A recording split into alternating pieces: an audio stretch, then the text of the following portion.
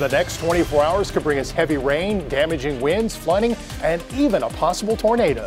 We're tracking everything from the WRAL Severe Weather Center here in Raleigh and on the road in the WRAL Storm Tracker.